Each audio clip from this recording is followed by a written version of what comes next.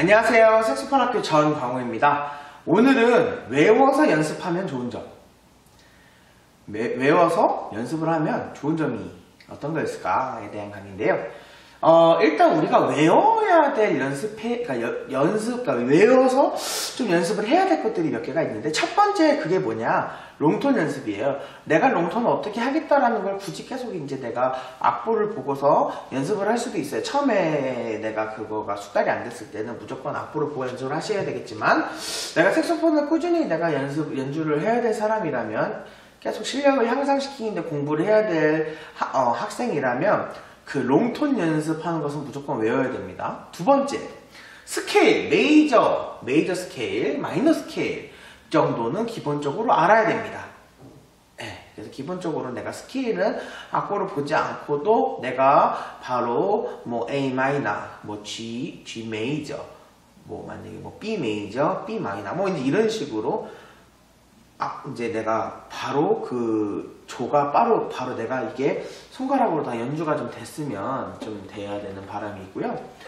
그러니까 그두 가지는 일단 필수입니다. 그, 그 필수적으로 내가 그걸 연습하셔야 되고 그 다음에 세 번째는 반음 스케일이에요. 우리 에- major나 minor 말고 반음 스케일 같은 경우는 확실하게 내가 머리에 달달달 외우고 있어서 내가 무의식적에도 반음 스케일 연습을 할 수 있게 그렇게 연습을 하시면 굉장히 나한테 좋습니다. 일단은 악보가 없어도 바로 내 연습할 게 딱 그 커리큘럼이 나오니까 그렇게 해서 그 연습을 해주시면 되시고요.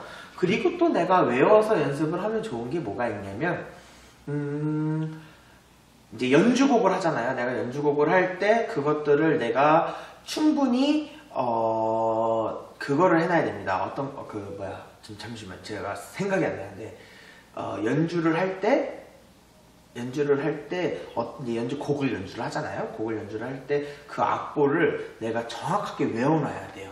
개명창 연습을 통해서 외워놔야 되고 그 다음에 그 노래를 내가 많이 불러봐야 되고 많이 들어야 되고 많이 불, 이 악기로 불러도 봐야 되고 직접 내가 연주도 많이 해보고 수도 없는 연습을 해서 그 노래를 익숙하게 내가 외워야 되는데 외울 때 내가 잘못 외우면 계속 그 부분은 틀려요.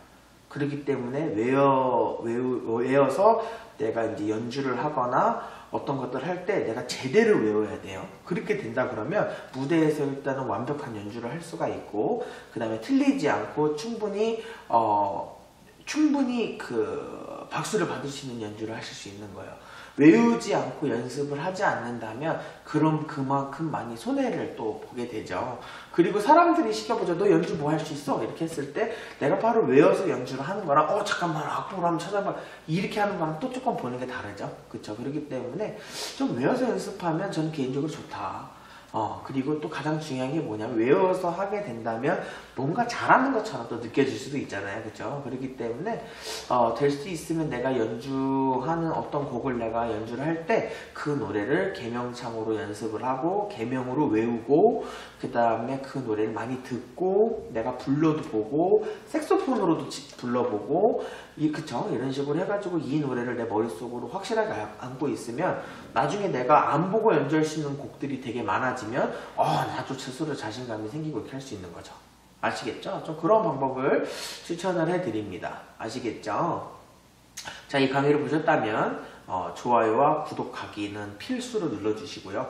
구독하기는 무료입니다. 무료이고요. 구독하기를 어, 하시면 다음에 영상에 올라오는 다양한 소식들을 어, 여러분들께 메시지 갑니다. 보셔서 여- 이제 보시면 어, 됩니다. 아시겠죠?